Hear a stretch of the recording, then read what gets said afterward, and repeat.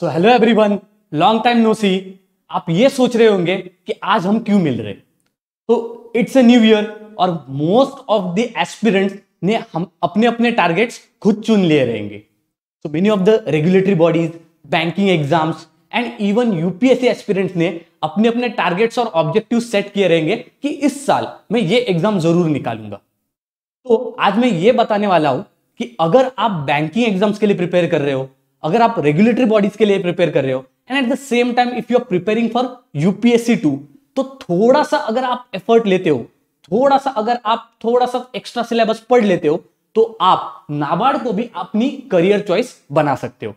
Eight the same time अगर आपके मन में यह है कि मैं नाबार्ड 2023 देने ही वाला हूँ इंस्पाइट कि मैं एक बैंकिंग एस्पिरेंट हूँ, या फिर रेगुलेटरी बॉडीज का प्रिपेयर कर रहा हूँ, या फिर एक सिविल सर्विसेज़ एस्पिरेंट हूँ, मैं फिर भी नाबार्ड एग्ज़ाम देने वाला हूँ, फिर भी एक एस्पिरेंट के दिमाग में बहुत सारी खिचड़ी पकी हुई रहती है कि अगर नाबार्ड में कल सिलेक्शन हो गया तो क्या पता कि कल मुझे किसी रूरल एरिया में फेंक दे। एक्चुअली नाबार्ड के जॉब का प्रोफ़ाइल क्या है? हमारे फ़ंक्शंस क्या होंगे? या फिर उस जॉब का रोल क्या है?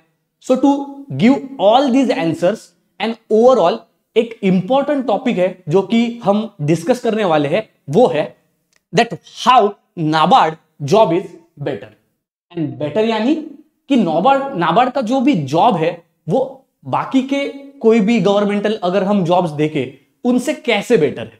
राइट क्यों? नाबार्ड ऑफिसर्स ये कहते हैं कि नाबार्ड इस ऑर्गेनाइजेशन में जॉब सेटिस्फैक्शन है।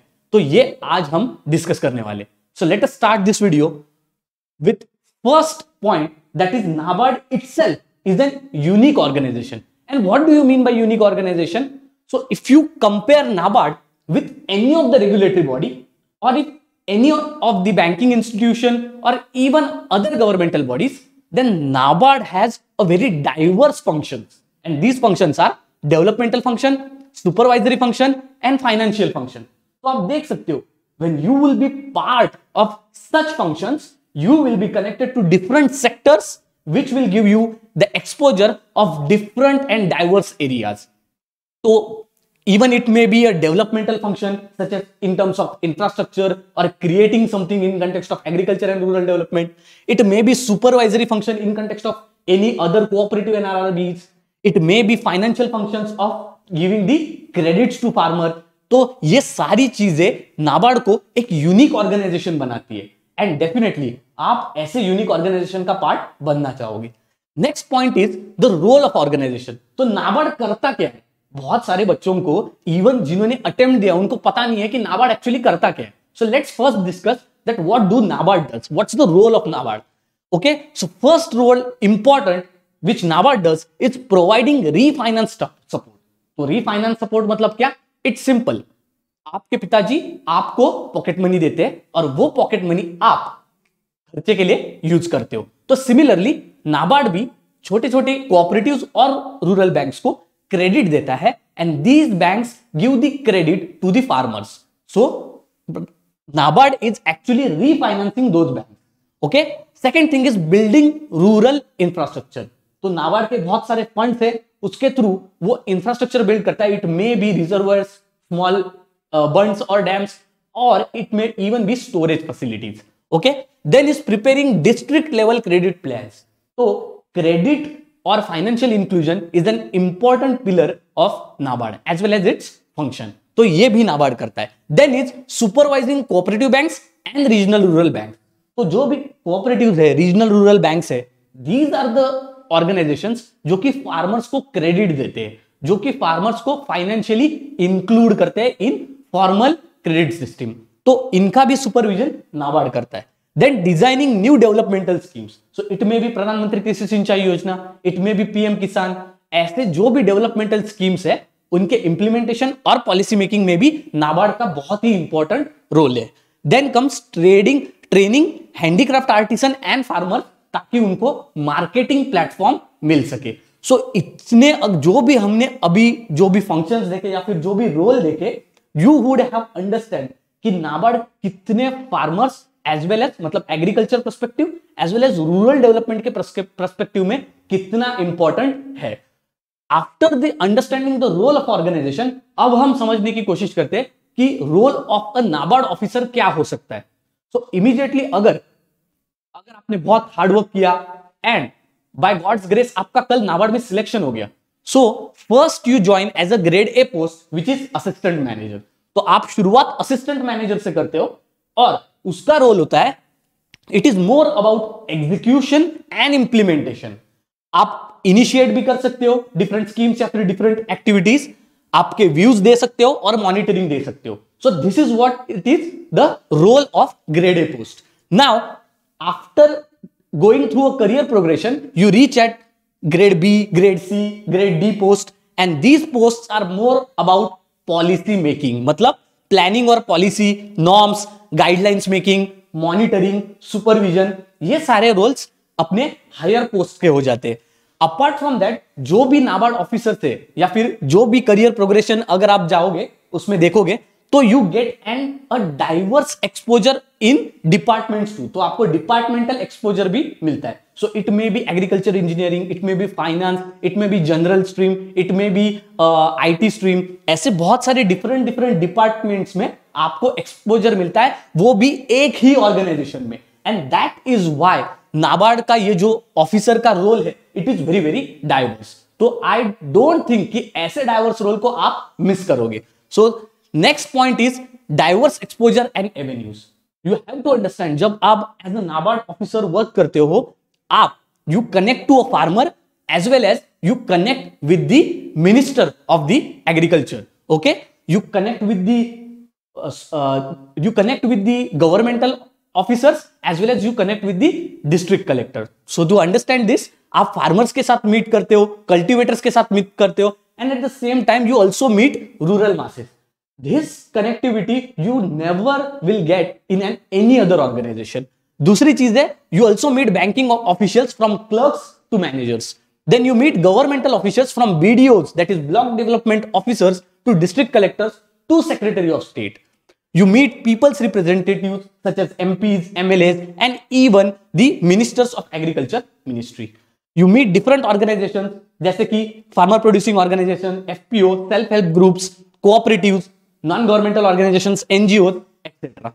And last, you meet even the officials of the other ministry जैसे कि ministry of rural development housing and affair and now you could understand कि इतने सारे लेवल ऑफ़ लोगों से मिलने के बाद आपका जो एक्सपोजर रहेगा, आपकी जो नॉलेज रहेगी, आपकी जो पर्सनैलिटी रहेगी, वो कितनी एनहांस होगी? And at the same time how much avenues you will get okay to enrich yourself as well as to contribute to the and that is why I think NABARD is crucial I think this point यहाँ पर अगर किसी ने भी अगर थोड़ा सा भी ध्यान दिया तो आपको पता लग जाएगा that this is the organization may be every person would strive for the next point is NABARD is that organization जो कि ज़मीन से जुड़ा हुआ है।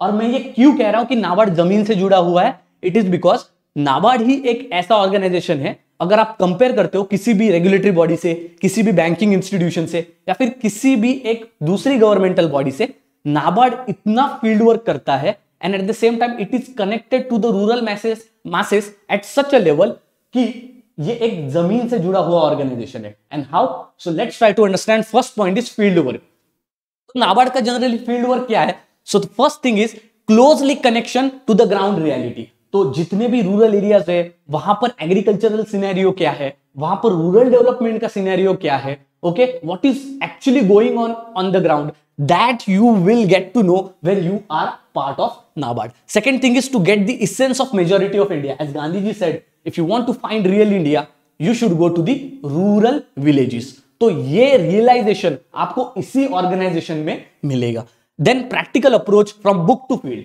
so अगर आप दूसरे ऑर्गेनाइजेशन में देखोगे your career as well as your professional life is restricted to a cabin और a cubicle but NABARD is not that organization आपको वो इतने डाइवर्स एरियाज़ में लेके चला जाता है that you actually learn from book and you apply to the field and this practical approach actually makes this job profile very very interesting second thing is contribution to rural area जब आप इतनी चीज़ें field work पे कर रहे हो लोगों से मिल रहे हो तो आप ये देख सकते हो कि एक्चुअली मैं कुछ एक्चुअली इस सोसाइटी को रिटर्न दे रहा हूँ at the same time you could also see that कि जो भी आपको फीडबैक मिल रहा है, जो भी आप रिज़ल्ट ऑब्जेक्टिव जब आप अचीव करते हो, जो भी रिजल्ट्स आपको दिखते हैं, उससे आपको यह पता लगता है कि tangible and intangible results we are getting from the feedback of the people feedback of the overall success of a particular project because of that, we feel that at least professional life mein there is satisfaction. At the same time as a person as a personality there is certain improvement at the same time ये भी feeling मिल जाती है कि मैंने actually अपनी life में किसी को कुछ कॉन्ट्रीब्यूट किया टू दिस सोसाइटी और may be to rural India मैंने कुछ कॉन्ट्रीब्यूट किया। The next thing after field work is about enhancement of knowledge when you are connected to different sectors when you are connected to different people when you are connected to such diverse sector through NABARD automatically it enriches your knowledge and how First is learning width of knowledge from different sectors.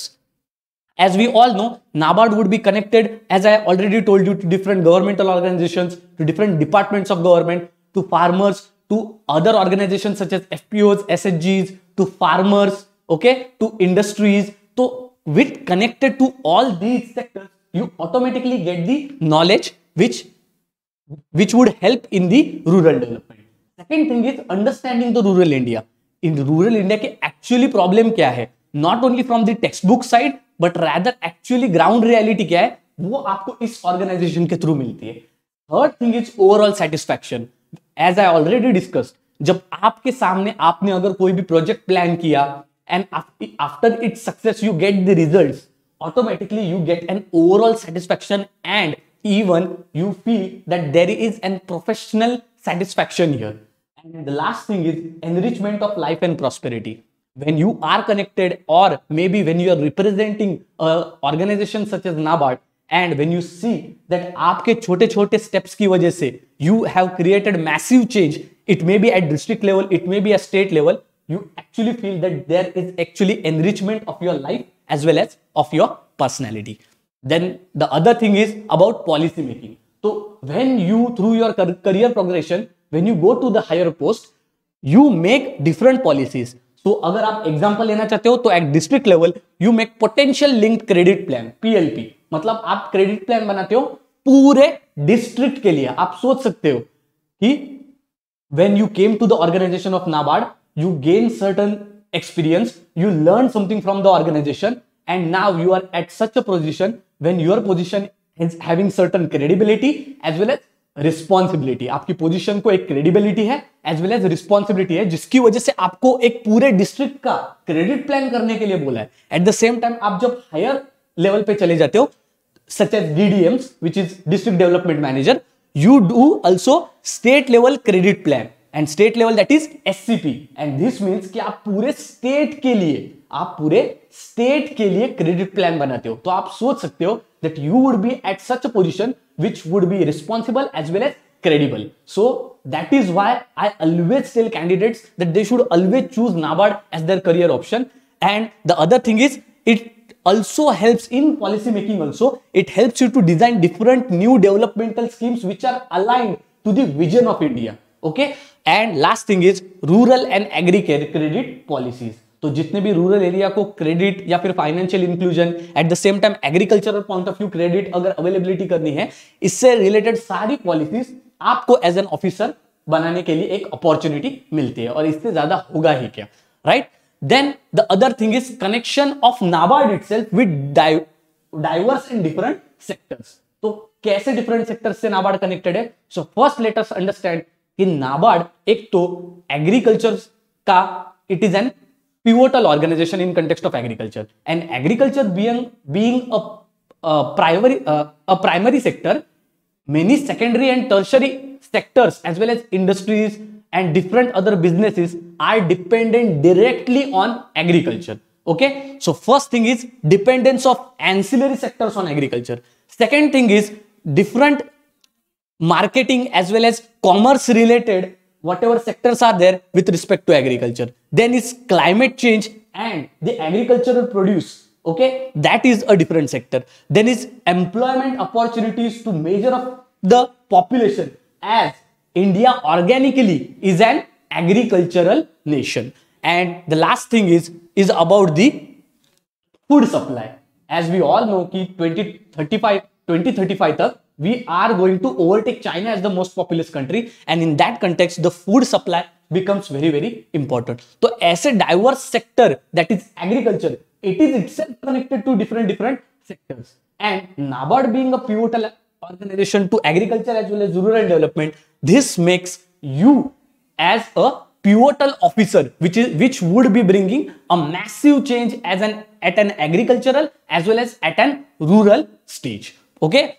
And last is about the career progression. तो career progress अब तक अगर आपको कोई भी एक valid point मिला तो आप इस वीडियो को यहीं पे रोक दोगे। लेकिन if you are not altruistic enough altruistic मतलब अगर आप जनहित में जारी वगैरह ऐसा कुछ भी मानते नहीं है, अगर आप कुछ भी कॉन्ट्रीब्यूशन पे बिलीव नहीं करते and if you are selfish enough then also it doesn't matter अगर आप करियर को बहुत सीरियसली लेते हो तो ये भी आप देख सकते हो दैट द करियर प्रोग्रेशन ऐसे फॉलो होता है।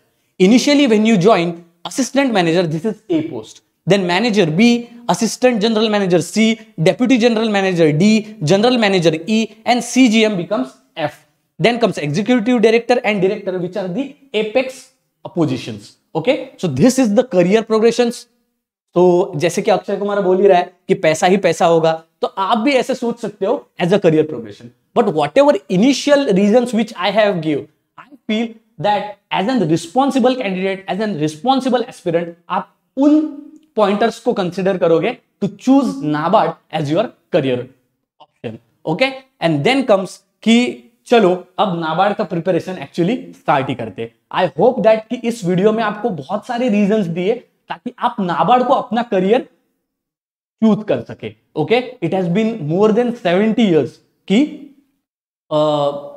मोर देन सेवेंटी ईयर्स जबकि स्लोगन दिया गया था कि जय जवान जय किसान। And today is that stage where I think that all the youths should join to improve the condition of the agriculture as well as rural development कहीं पर I think agriculture as well as ये जो rural villages है वो development के development uh, के context में कहीं पर पीछे रह गए। And I think we as youth should join in an movement और may be joint as an force to empower this and change this scenario which is existing today so that's it from my side I hope कि आप नाबार्ड को empower करते हैं and you start the preparation जैसे कि हमारे मनोज वाजपेयी बोल रहे थे कि नाबार्ड का प्रिपरेशन स्टार्ट ही कर दूँगा अभी तो आप भी स्टार्ट करोगे. We will see you next time thank you